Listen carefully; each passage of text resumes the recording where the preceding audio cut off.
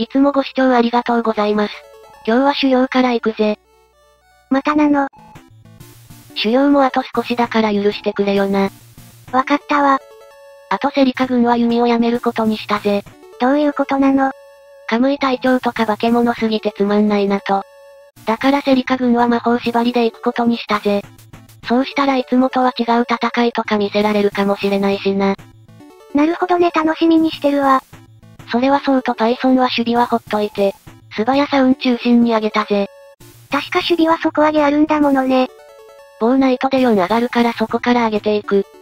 クラスチェンジ底上げをしっかり利用する。これも M ブレマーの証。そうなんだ。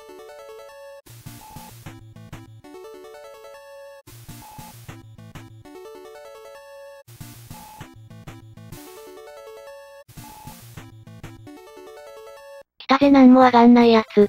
もうやめてハガのライフはゼロなのよって言ってるわ。なんだレイムがアラフォーネタかよ。喋ることないとつい出てしまうわ。まあいいぜというかいい感じで仕上がったぜ。守備以外はほぼ化け物ね。そうださっきの魔法縛りは4章から始めるからな。まあレオもアルム軍に来てもらって。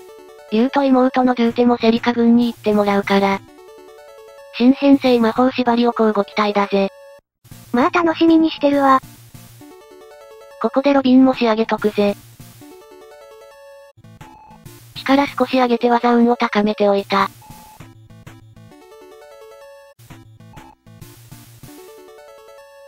これもう上げるとこが少なくなってきたわね。素早さ運はすぐカンストするな。ただ攻撃守備上がりにくいから、戦闘しながら気長に行くぜ。シルクも少し上げとく。シルク銀に必要なの。ああ今回はシスターがどうしても必要なんだ。またそん時説明するから。そうなの分かったわ。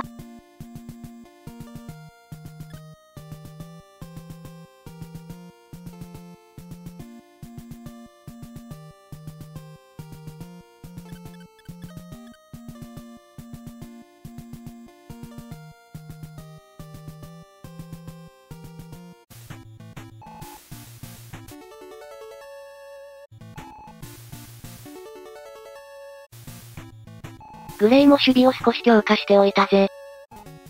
ここでセリカ軍で暴れてもらうユート様だぜ。いろいろ調べてみたら成長させにくい。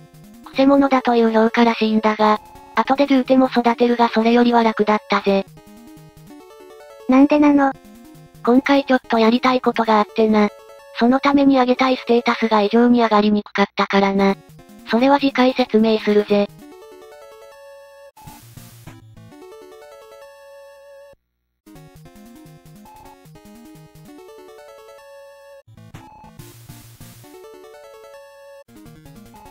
竜とは成長自体は単純なんだ。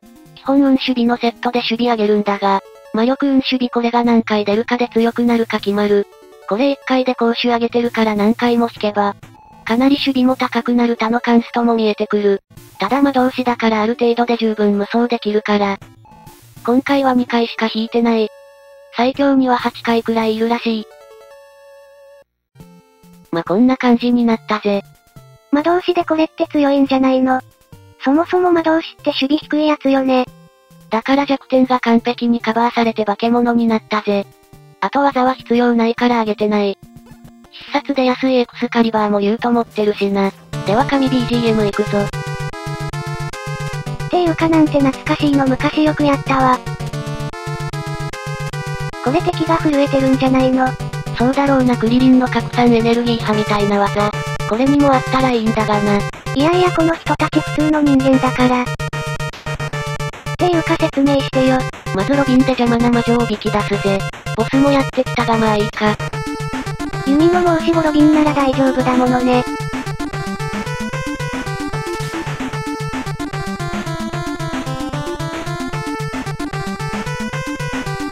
ここだけリュート様使いたいからちょっと許してくれ。次からはセリカ編でちゃんとやるから。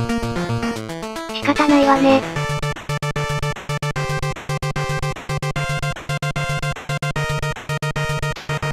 逃げ惑うアーチャーをもう一人で追い込み漁をするぜ。いやいや魚じゃないから。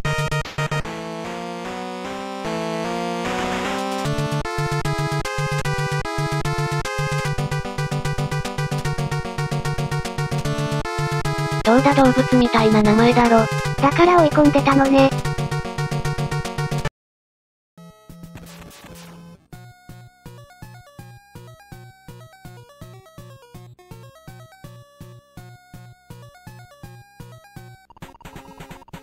いやいやお前顔色大丈夫か？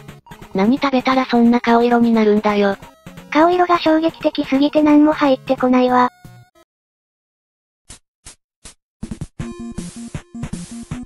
普通だとこれ苦労するんだぜ。ここ1ターンで倒さないと重手襲ってくるからな。しかも往来力あるから強い下をしても仲間にできない。鬼成長させたのはもしかして時短のためなの？今頃気づいたのかその通りだぜ。まあ半分はワープのおかげだけどね。それは言わないでくれできうる努力はしたつもりなんだぜ。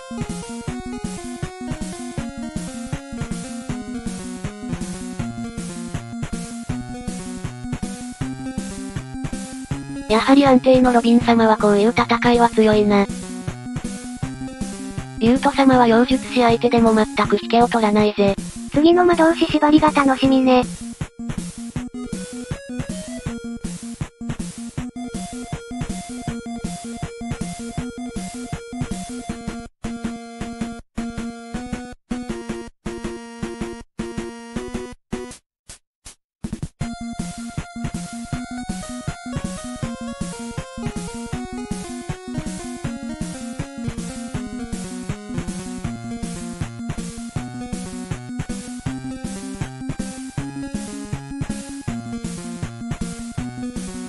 また追い込み用してるわね。いやこいつらが弱すぎるだけだ。開発者が想定しないぐらいやり込んだあなたが悪いんじゃない。ゲームをやり込むのは開発者への礼儀だと思うんだが。まあそういうことにしときましょ。やり残したことがあったぜ。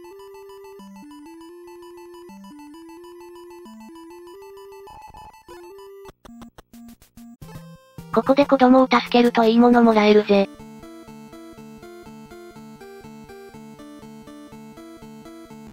聖なる槍ゲット回復効果だけ使うぜ。ルーテだけ仲間にしとく。今回はここまでだぜ。いいねチャンネル登録はモチベアップにつながります。次の動画でお会いしましょうではでは。